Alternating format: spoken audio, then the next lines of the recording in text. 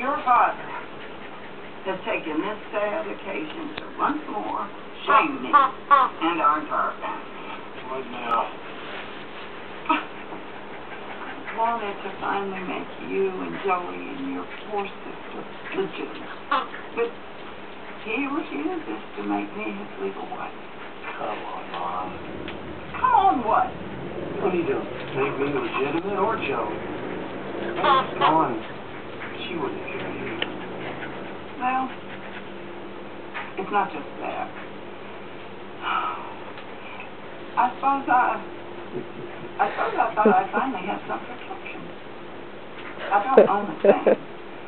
This house the gas station, the priesthood council owns it all. I just wanted something to fall back on, but, well, I'm just out here. It used to be that way. I know. Your grandfather was a great man, a true prophet.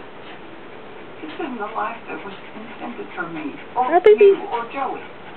It's okay. I'm doing fine, Mom. I know you are.